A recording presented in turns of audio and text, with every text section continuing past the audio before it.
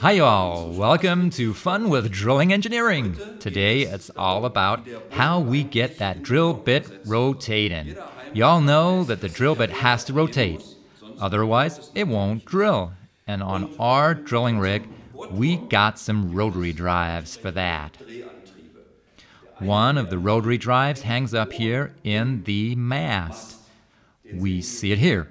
And this motor is called the top drive and it gets that whole drill string rotating. Now, a drill string is of course much, much longer than a drill bit we use it at home. And you can imagine that it's not that easy to rotate it. So we got ourselves a little experiment here, and you can see how the drill string vibrates heavily and generates a lot of losses. And so there's not enough energy left at the bottom of the drill bit where the energy is needed to destroy the rock.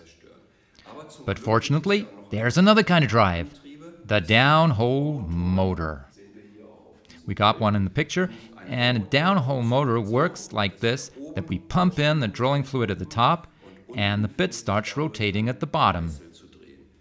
The more mud you pump in at top, the faster the bit rotates at the bottom. Yeah, and so two drives rotate the pipe string.